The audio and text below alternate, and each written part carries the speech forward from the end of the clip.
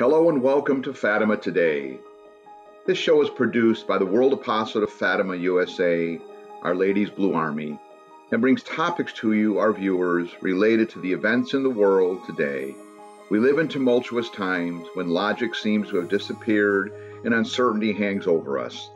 Our hope on these programs is to address the issues of the day and find solutions through adherence to the laws of God, especially through the message of Fatima. We ask that you subscribe to this podcast. In 1947, Mr. John Haffert, co founder of the Blue Army, commissioned a statue of Our Lady of Fatima to help facilitate evangelizing the message of Our Lady to the world. This image soon became known as the International Pilgrim Virgin Statue. In these 75 years, this image has traveled throughout the United States into over 100 countries, accompanying the custodians who bring her message to the many visitors. Patrick Sabat directs the program for the World Apostolate of Fatima USA and has served as the custodian for this statue for the past 19 years. Patrick is here today to discuss the history of this program and our plans as we begin our second 75 years. Welcome, Patrick. Oh, thank you, Dave. Such a beautiful uh, celebration for the It Blue is. Army. This is 75 such, years. Such an honor to be working uh, for the Our Ladies Blue Army. Absolutely, for all of And us. uh, oh, thank you for that uh, introduction. Yeah. You know, the statue has always had a, uh full-time custodian. you Right. know, in the last 75 years, and I have this honor of accompanying her when the history, the statue was only 55 years old. That's right. That's right. Yeah, So thank you for you know your the trust and the uh, Sure. the confidence. Oh, you've done a great job this with it. We program. appreciate it. Yeah, and I think you know you have a um, you have such a great understanding of this evangelization. You know, the World Apostolate of Fatima, as we are today, our Blue Army, founded 75 years ago, was founded as what? A Blue Army of prayer. Okay, an army on its knees. Yes, right? Okay, silent and that's who we are. on its knees. I love that. And- Yeah, we with keep that hearts open to Mary. There you go, and that's who we our, are. Our founder, Mr. John Haffert, had Yeah. said that word, and That's right. yeah, that's our uh, charism. You know, it, it's such a gift to have this beautiful image of Our Lady. You know, all those years, the program, like you said, you know, it has developed throughout the years. It used to be, uh, uh, they used to be priests, the custodians. Typically. Monsignor McGrath, who first directed the uh, the uh, Coast to Coast tour, the Tour for Peace, uh, back in 1947. Of course, December 8th, Mr. John Haffert and actually Canon uh, Galamba Yes. um, who brought the statue Right. uh, to the U.S. Uh, through Canada. That's correct. So That's correct. December 8, 1947. But it's very interesting, you know, as we celebrate uh, the beginning of the 75th year anniversary, uh, October 13, 1947, when it, it was blessed uh, in the presence of 150,000 people in the in the shrine, the spot of her apparition, and from there it traveled the world. Um, you know, became known as the International Pilgrim Virgin Statue. Yeah, I, I don't think people eh, people often say, "Well, it's a statue. It- It's an inanimate object." Well, certainly it is, but it's blessed, and Our Lady does travel with it. I mean, there's no question Oh, about no that. I question. mean, They you know, pray that Mary herself accompany the statue wherever it goes. course. And that, that blessing, I think, remained. You know, it's not something that you can take away from it. Yeah. And um, I think it's more than the statue, it's the mission Yes, of the statue, why they sent the statue.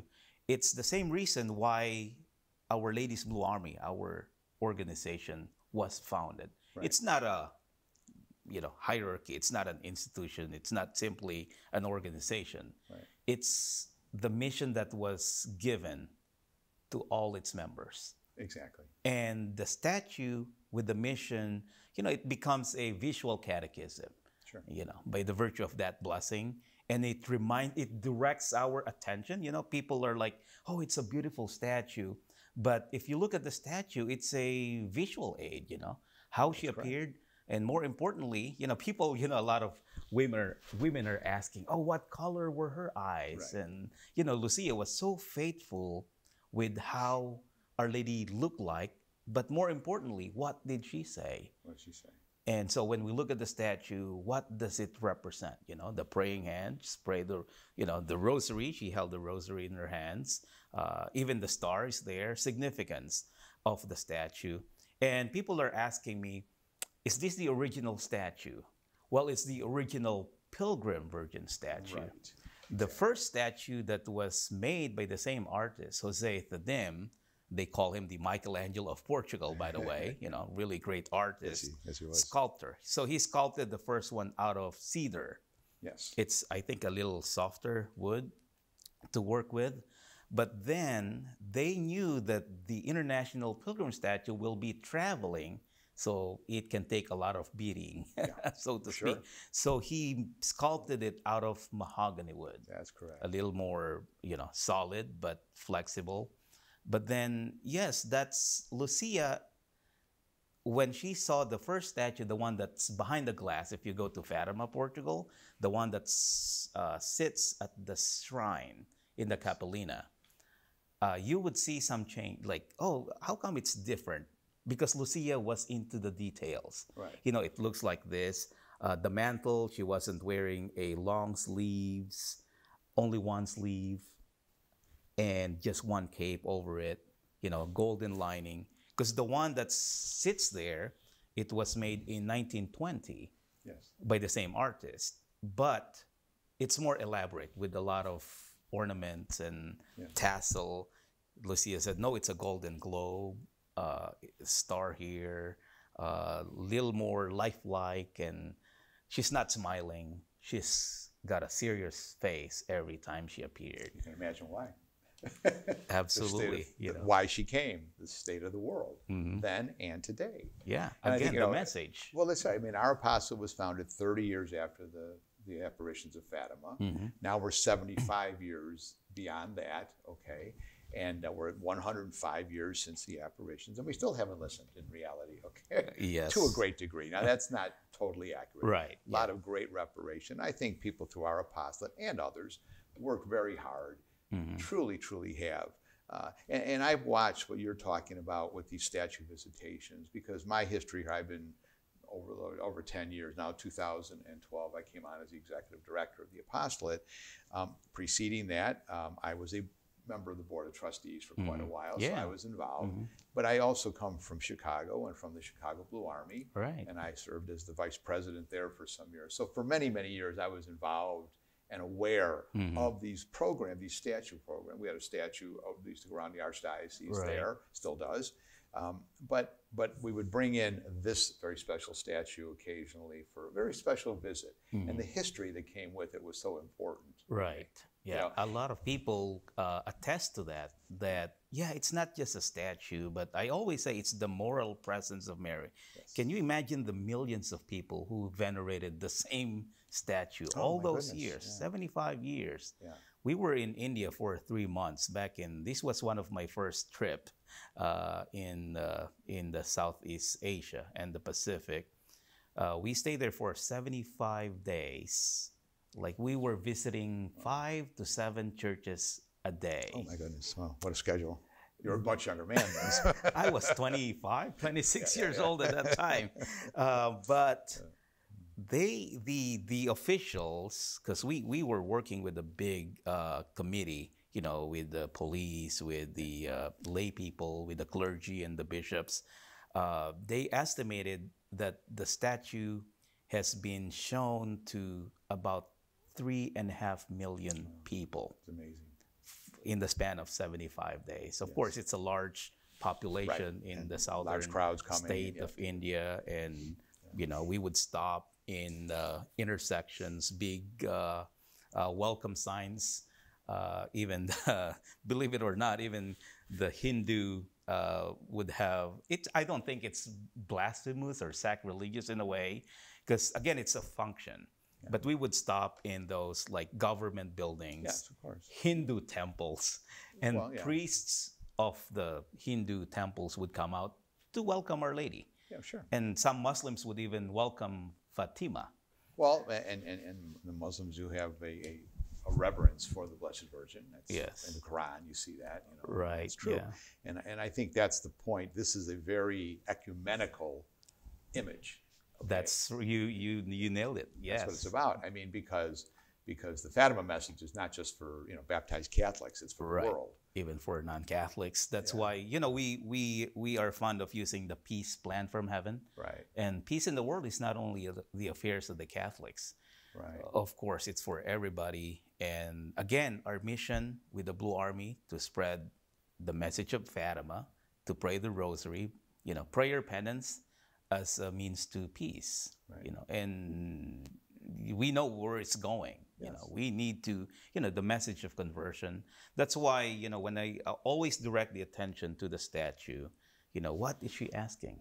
You know, in this gesture, you know, Our Lady appeared, of course, different uh, gestures, but Lucia, again, being faithful to not only how she looked like, but then again, it's how you look, how you present yourself. Oh, sure. That's how Our Lady looks like. That's how she looked like to Lucia. That's why she even asked, uh, Lucia asked Our Lady, Where do you come from? Because she said, I've never seen such a beautiful young lady in Yeah, this yeah. part of the, uh, the town. Sure. And so, you know, I come from heaven. So again, those gestures, she was so um, calm, peaceful in a way, but serious. Uh, so for us, it becomes a visual catechism. Oh, very much so, because she's bringing a very serious message. Mm-hmm. So she's not going to come laughing necessarily, not going to come Yeah. even smiling, only maybe maybe just to console a little mm-hmm. bit, a Yeah. little bit. But but generally, she says, "I'm bringing you a very serious message for the fate of the world. Mm-hmm. Take it seriously. Right. Did it in a kindness. Did it with a a motherly, uh, you know, thing. But she was not. She she was trying to have these children understand so that we would understand it's a very serious thing she was bringing to us. Yeah, that's right. That's a mother, you know, it's uh, if it's a visual catechism, she's a catech- a mother catechist. You know, she's a you know teaching all her children, and all those years, you know, uh, one of the custodians back in the uh, 70s and 80s, uh, Mr. Louis Kaczmarek, she he even wrote a book, The Wonder She Performs, Yes, and it's a great the book. Still available for yeah, the journals of the the wonders of Our Lady, the wonders she performs, and going back to Pope Pius XII uh, statement over the Vatican radio when he made that remark, you know, she because that's the mission, the basic mission of Our Lady, you know, to to um, bring graces to those who may never be able to come to visit Fatima. She comes right. to your parishes, to the dioceses. She comes to us. And going back to Pope Pius XII's uh, statement about the statue, he said, uh, We crowned Our Lady as, as Queen of the world. Uh, and the next year, she set forth as though to claim her dominion. And the wonder she performs are such that we could hardly believe what we are seeing with our own eyes. So I think Louis Kaczmarek caught that the phrase, the wonder she performs. Sure, of course, of course. Uh, and uh, you know, even Pope Benedict the uh, the Sixteenth, when he visited Fatima, uh, kind of when I when I heard that, I kind of felt uh, affirmed with our mission with Yes. the Our Lady's Blue Army, because he said the message of Our Lady of Fatima was only known to the unknown shepherd children in 1917, but it became known and widespread he said mainly as a result of the travels of the Pilgrim Virgin. Sure. Doesn't that affirm Our Lady's Blue Army? Oh yeah. Yeah. So Well, if you remember, our founder, co-founder John Haffert, said he wanted to bring Fatima to the people, and then the people to Fatima. That's why we built Domus Pacis, our hotel retreat center over Right. there. And the idea was, I mean, obviously, ultimately, you want them to come and truly experience Fatima Mm-hmm. there. But many, many, most people who see this statue never get to Fatima. Right. Okay. that's why it's a good thing we have Ave Maria pilgrimage tours. I, you know, that's we're, right. We're bringing We have many pilgrimages Fatima. that go, and now in this post-COVID time, we wanted to really keep building up again Mm-hmm. because that's what we're there for, to bring people to really experience it. And that, that is a beautiful thing if you can. Hmm. But the reality is, you know, for many people, simple people, people without the means, people in third world countries, uh, they're never going to be able to in many cases. Right. So let's make sure they can get all of the same blessings. Mm-hmm. I love the sign that we have in front of the statue.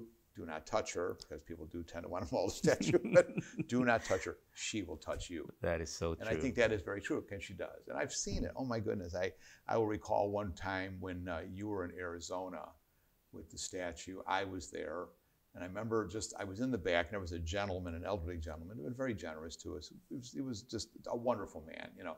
And I remember I was there talking to him a bit, and he was in a walker, and he went up, and I just, I just couldn't help but watch him kneel down in front of that statue and just have like just almost a transformation Mhm. of his mood. He was, he was um, uh, very touched. Very, you can see that he had been devoted and would continue to be devoted. But just, just the way he was praying in front of that statue, you know that that was going into his heart and coming from his heart. Mhm. Yes. And that's that's really the thing.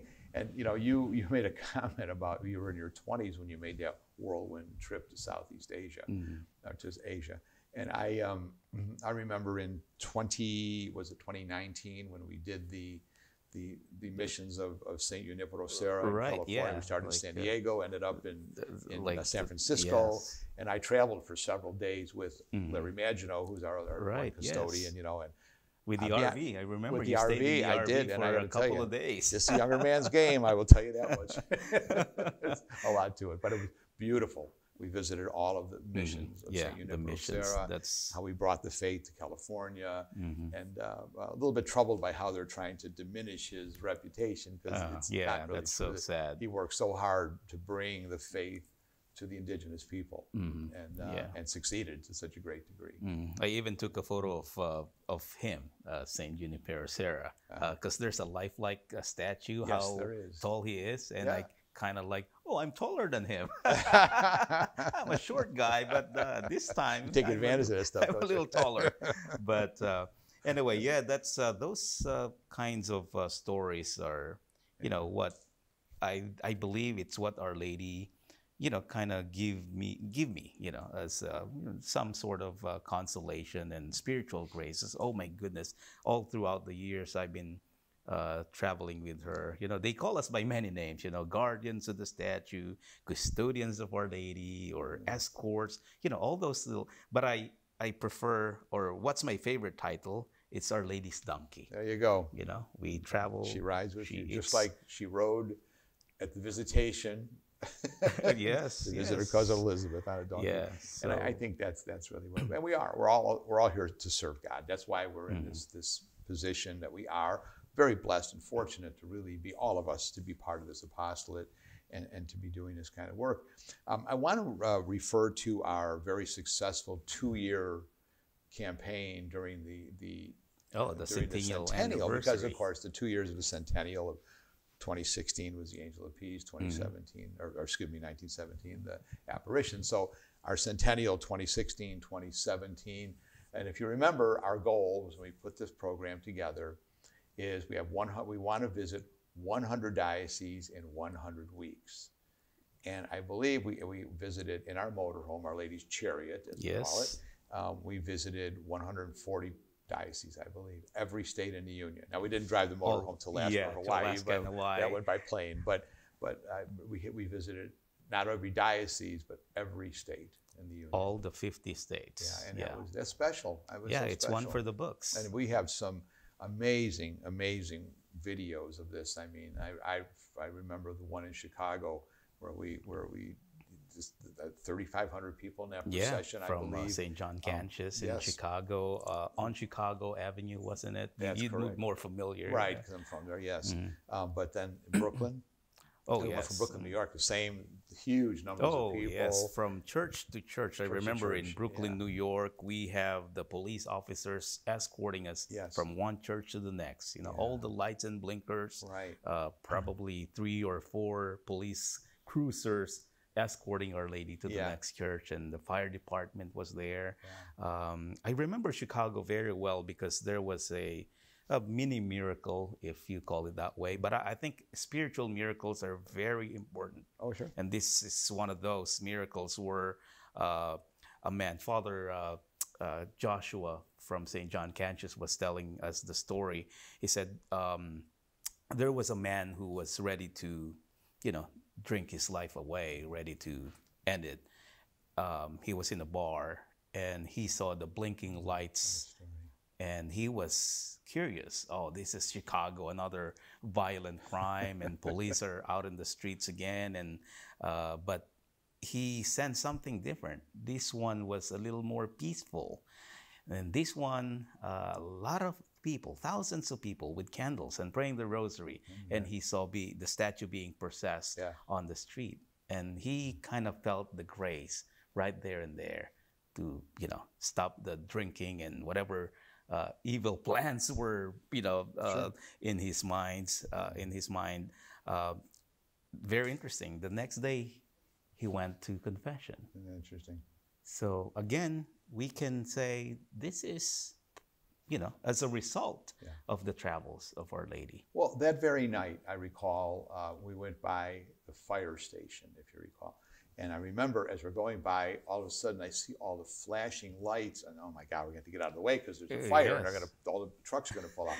No, they put on the flashing lights on the trucks, and then all the fire, a number of them, came to the curb to greet Our Lady. Now that was really something. That's something. That was Yes. beautiful. You know, Mhm. many of them, of course, probably Catholic, but maybe maybe not even. Mhm. But they just were so they just in such like an honor guard. They just stood there as the Mhm. procession went Yeah. by with all the lights flashing and everything. Mhm. You know, I thought that was really really special.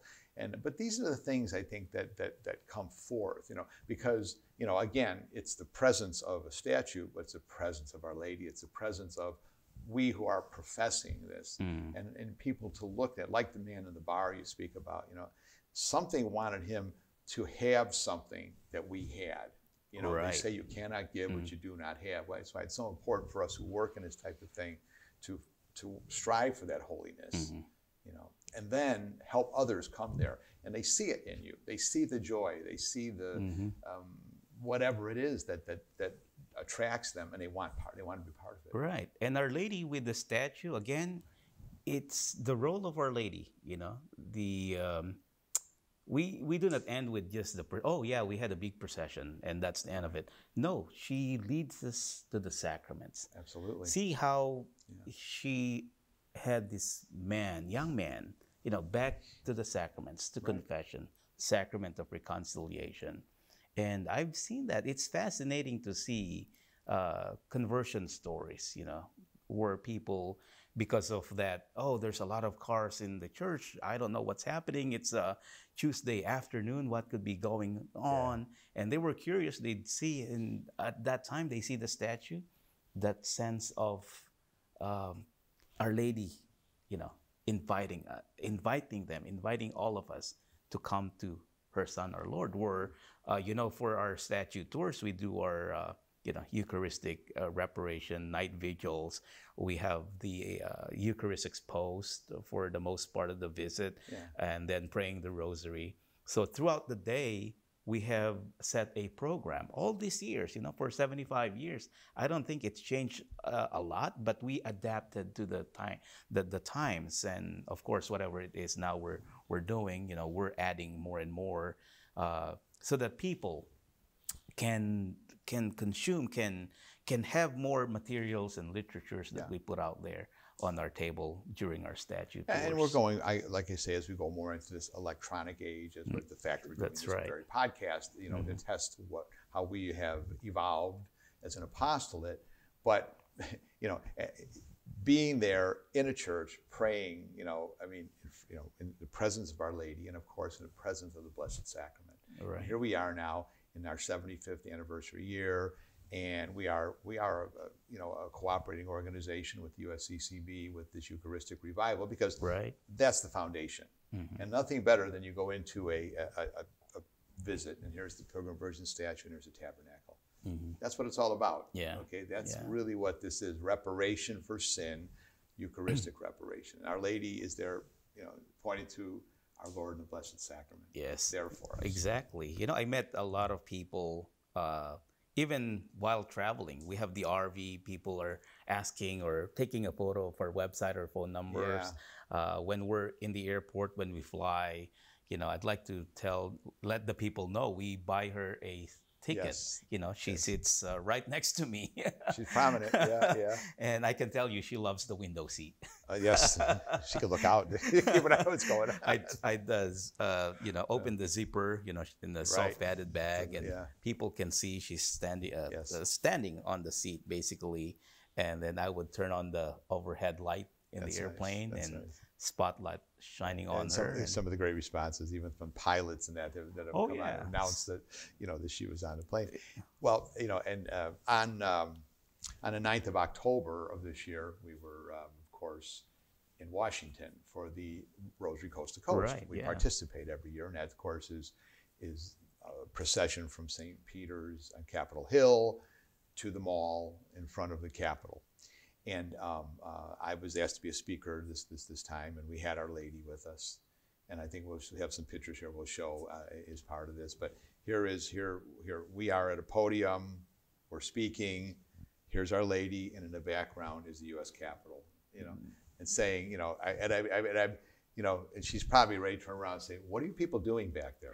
Okay, start listening to me. yes. But the grace of a day like that is great. And just by the the comments that people made as they walked by, here we are in the mall, right? You know, between Yes. between the Capitol and the and the uh, uh, the Washington Monument, and and and it, and it's just it's very touching to be part of that, to be there, but that she was there.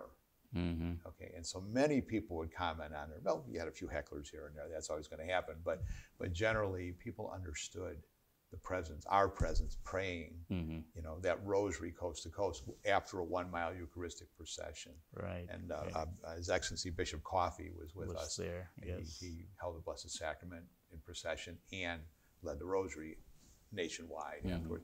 But see, this is this is our faith. This is what our apostolate is founded for to bring that message of Fatima. And the message Fatima is one of reparation.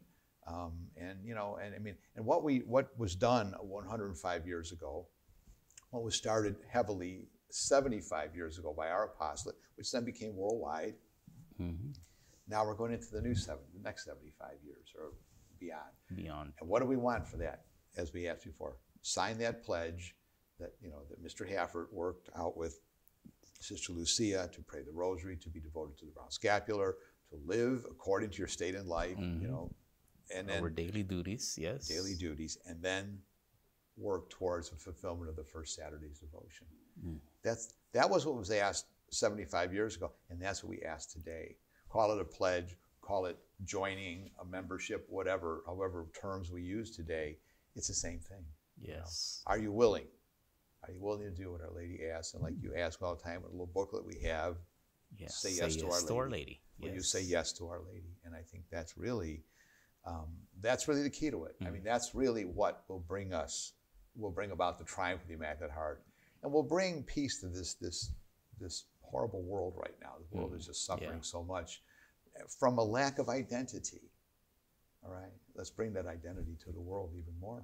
Yes. yeah. Yes. So, any, what are su- other suggestions you have for people as we close on this? uh, Well, this always visit our ladies' website, bluearmy.com. Bluearmy.com. And of course, if you would be willing to accept the suffering God wishes for you, uh, that's the question she asks the children of Fatima. She's asking us also today uh, be part of this spiritual movement of an army, according to our founder, an army, silent army on its knees with hearts open to Mary. You know, we invite everybody to open your hearts to the graces from Our Lady. Invite Our Lady's uh, pilgrim statue to your diocese. Go to our website again, bluearmy.com, and become active, uh, you know, members of your parish, and go back to the sacraments. You know, those who may, you know, are listening and searching for answers. You know, we have Our Lady by our side in this battle. So Yeah, we had a, um, and, and I want to thank you for joining us here today. We had a, a billboard campaign around the country some years back, you might recall. It said, The world is in terrible, the world is in need of help. We have the answer. And it's at bluearmy.com. It was right there. You know. So anyway, thank you for joining us today. Patrick, thank you for being here.